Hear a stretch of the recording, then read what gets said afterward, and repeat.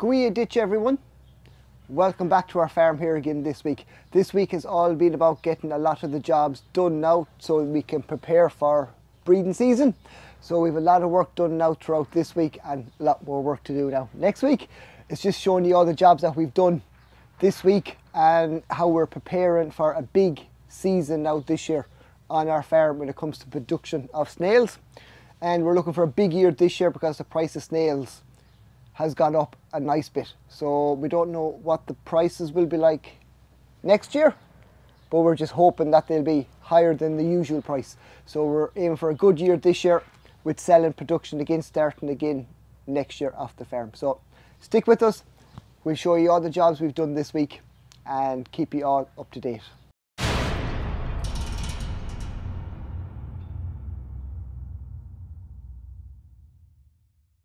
So we have all this pin now here redone and replanted all the way along. So we'll just wait now for this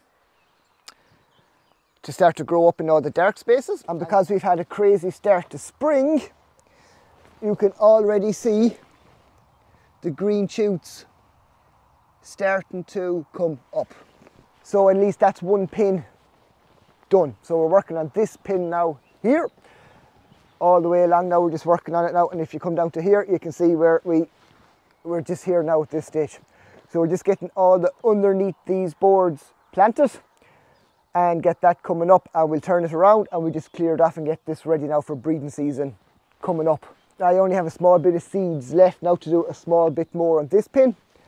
So we'll have to get more seeds just to finish this one off. So we'll get that done. And then another job we have to do over here because we were lambing for the last oh, just over two months, this place here has gone a bit wild. So we're going to have to come in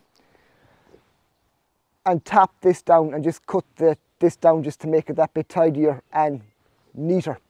So we'll get this pin now ready for breeding season here where we'll just section off a bit, put in our mammies and get the rest set up and then the babies will be born here and then we'll open it up and let the babies continue on down into the fattening pins as we say. So that's another job now that we have to get done. It's just to, it's gone fairly wild. So we just have to cut that down.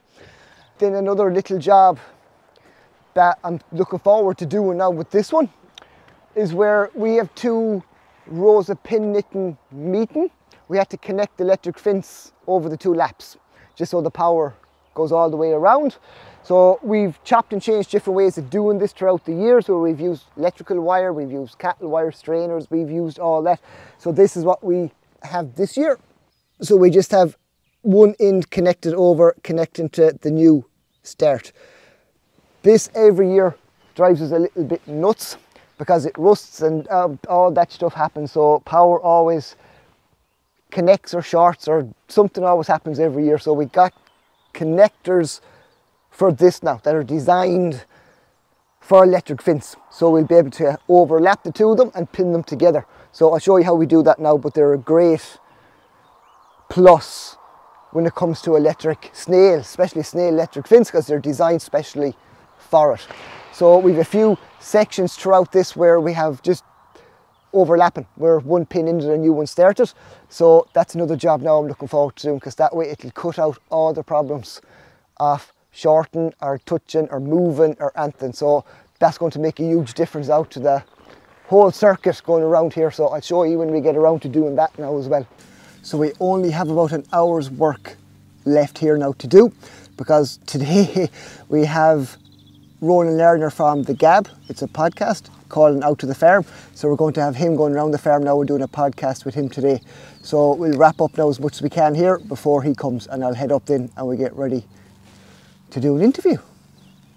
For anyone that wants to keep up to date on anything that we're doing here on our farm, don't forget to hit that subscribe button down below. Once you hit that, you'll see a bell. If you hit the bell, all new videos that we put up, you'll be notified of. So you'll get to keep up to date on everything that we're doing here, all behind the scenes on our farm. So here we've Ronan Lardner from, what? Well, okay, I'm from Galway FM and I'm just down here at the moment doing a uh, podcast. Um, well, it's a podcast called The Gab uh, with Ronan Lardner, and uh, I'm just here and I'm completely intrigued, as in literally intrigued about snail farming. I didn't realise there were so many different avenues with it, the setup with it, Um, it's it's mad. It's mad. It's fantastic. Stephen was just going through all the bits and pieces with me here as, as what they do. There's a lot of work involved in it, I have to say, but I'm sure it can be quite lucrative once things uh, once things work out. But he's put an awful amount of work into what he's done here, and I'm looking forward to having a chat with him and starting at the beginning and moving on right up until where he is at the moment and the ups and downs of uh, of snail farming. Never thought I'd be talking about snail farming, to be honest with you, or milking snails or anything like that. Um, it's amazing livestock out there. You have to be running around after them. These you don't, uh, which is quite different and a different headage grant entirely involved. But look, it's lovely to be here. So thanks, Winnie, for having me, Steve. Not all roll. We'll head up now and do the podcast. Yeah. Talk to you later. Okay, here we go. Yum yum, guys. My first snail. Okay. Take your pick. okay. I have never done this before in my life. Show me what to do. In, pull. Yeah.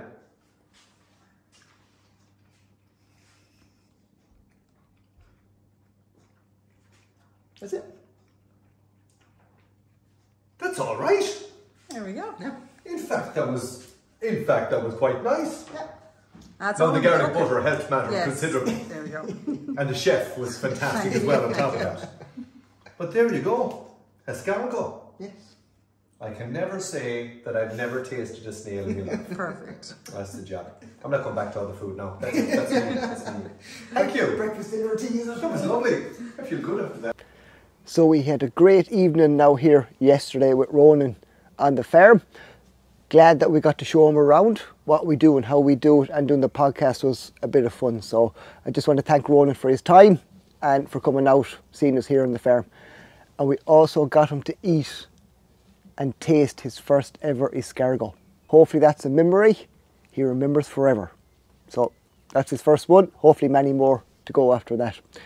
I'll put a link in the description down below if you want to check out that podcast. It'll be down there in the writing. Just click on the link and it should bring it right up if anyone is interested in hearing that podcast.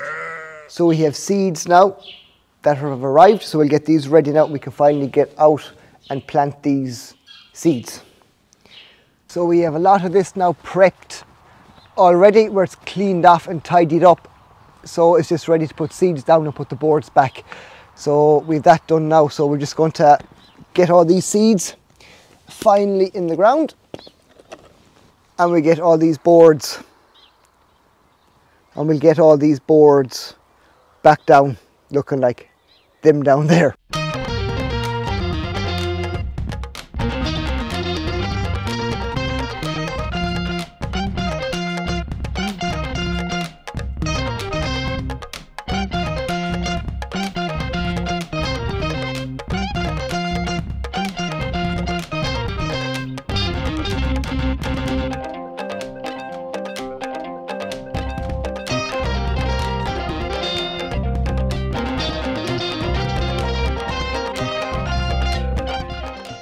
So this now is starting to look a lot, lot better.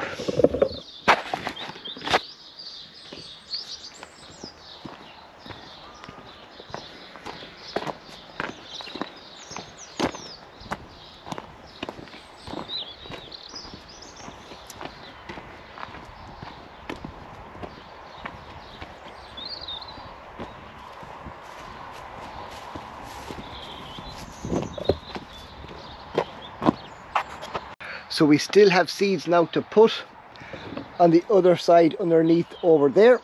So we'll get them seeds put down and then that'll be another pin here finished. So that'll be the two pins now either side of me here then done. And we'll give that a few weeks and hopefully we start to see this going lovely and green and have it ready to go come breeding.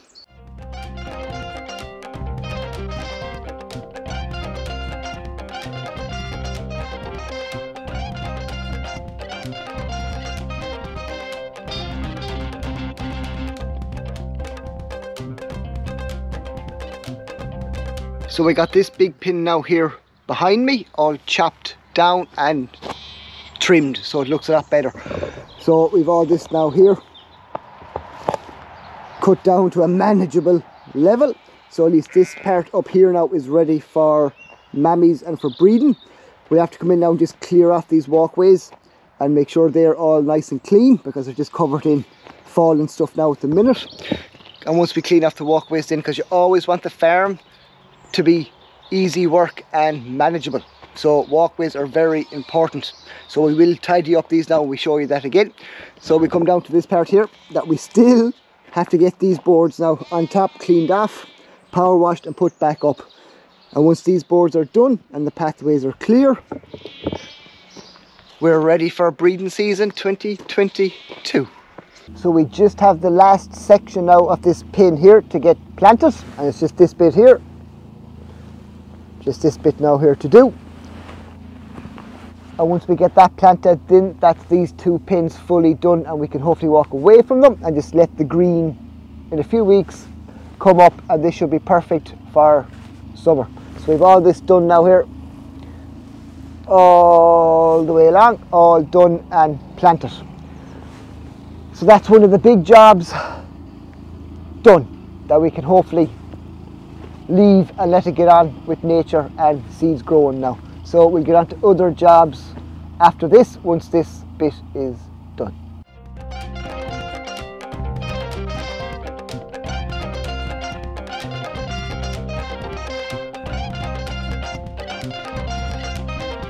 So tomorrow's job now will be to fit them connectors onto the snail electric fence.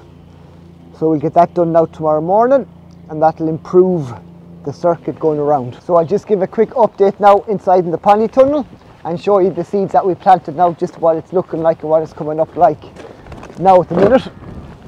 Yeah, so as you can see, we're actually starting to turn nice and green in or around here now. So hopefully now in another week I'll be able to put all these boards back down and just let it grow naturally underneath then once the boards are back in place. So that's just an update now on what's happening in here. Can't really do anything out until it grows that bit more and then put the boards down then we get snails on it and then we're kind of complete in here then with the work so it's more outdoor this time of year than work indoor so just to show you what it's looking like now at the minute. You know when you do all your work the day before and the night before and you have everything looking the way you want it when you leave it and then you come back the next morning and and you find this. So we have a whole row now here knocked to the ground. No idea why. There was no pressure or anything on it. We didn't have a storm or windy last night. So no idea what happened here. So it's just one of the mornings. So first job now is to get this put back up and get it secure again. So wasn't planning on doing this this morning, but this is our job.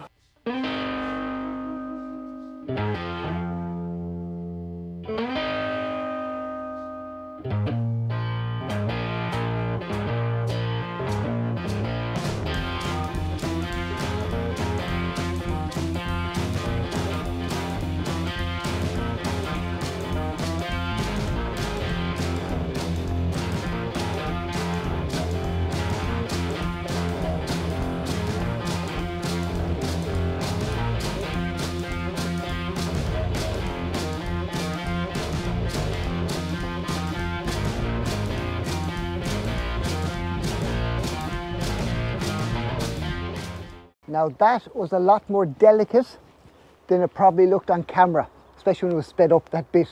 Because this is still full of snails, in here, we had to be very careful where we walked so that we didn't walk on them. So light footed, watch your step. But done now and back up. Still don't know what actually caused that, but anyway, done. So we have our connectors here now.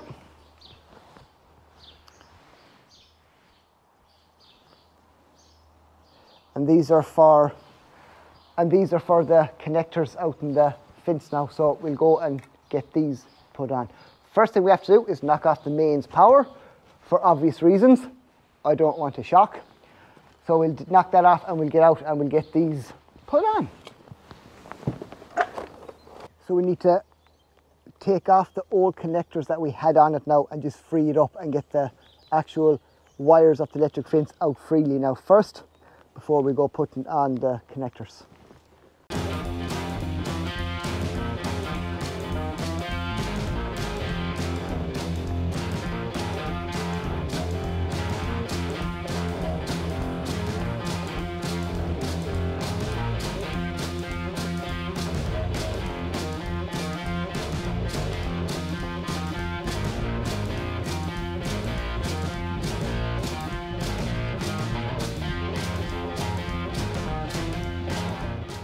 We have to try it out and get these strands of wire straight again after so many years of bending them and twisting them, trying to find ways to connect them together. So I'll show you now what I mean by having these connectors set up.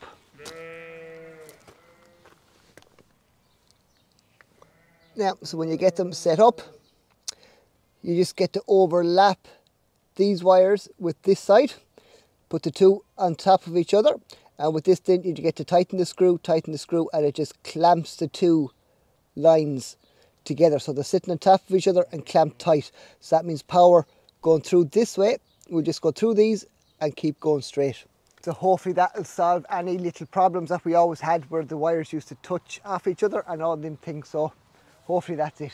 Now, so this evening before we pack up, we'll feed the snails out in the field. So we're back now to using the powder meal. Now again, because we're not promised rain for the next two or three days. So when it doesn't rain and it's not damp, we'll use the powder. Once it's raining and damp and wet and miserable, usual Ireland, we'll use the pellets. So for now, we'll go out, we'll feed them the meal, and we'll see how much tomorrow that they've actually eaten of this in one night.